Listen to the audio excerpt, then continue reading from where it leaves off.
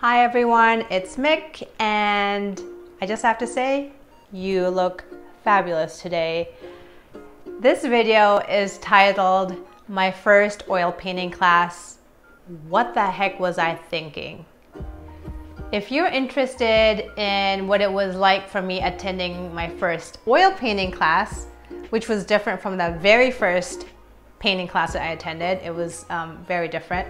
Um, it was more about the oil painting class was more about materials and things I didn't know about the lingo and what was on that list and how I interpreted things. So I just want to save you the trouble. Uh, if you're ever going to attend an oil painting class, what the things look like and what you should look for. Okay? This is my face in my first oil painting classes. I didn't know what the heck palette I should bring and I brought the wrong one. The teacher said, what the heck is this? It was the one for watercolors. So anyways, I'm gonna save you the trouble and go through the materials and show you what you need so you don't have to have this type of face when you get to your first oil painting class. I didn't know why I need to bring a pizza box or what a palette knife looks like. So here goes. This is what you need, something to paint on, a canvas or a board. Paints. Of course, brushes. Quick tip, bring a jam jar for your brushes so they won't roll away. Check it out. You put the brushes in. Nifty, huh?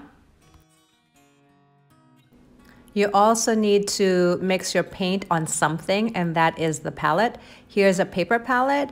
When you're done with it, with all the paints on top, you can just rip it off and then put it in trash if you don't want to um, spend a lot of time cleaning it. And now for the palette knife. This is a thing that you use to mix your oil paints on the palette. Look at the angle, that's what you need. They come in different sizes, so this is a bigger one. That's okay as well. This is also a palette knife and you'll find it in the palette section, but look how flat that is. You don't want that. So you got your palette and your palette knives, a roll of paper towels so you can clean up your brushes. They'll tell you to get Turpenoid, It's a paint cleaner, but I'm trying to stay away from those. If you do use a paint thinner, you'll need a jar to pour it in. This is also an option. It's a brush cleaner and it's basically soap. I use that. And you'll need a box. Your painting will be wet because it's oil, so you want to protect it and put your masterpiece in it when you go home. And there you have it. You can put your paints in a little Ziploc bag and you're good to go. Now it's your turn. Make a list of the things you would need for a painting class since you know all the materials now.